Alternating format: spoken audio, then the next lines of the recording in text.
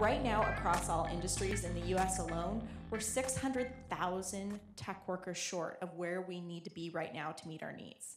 And fast forward to 2020, where that gap is going to increase to over a million. So again, that's that's from um, a statistic that I pulled from Women Who Code.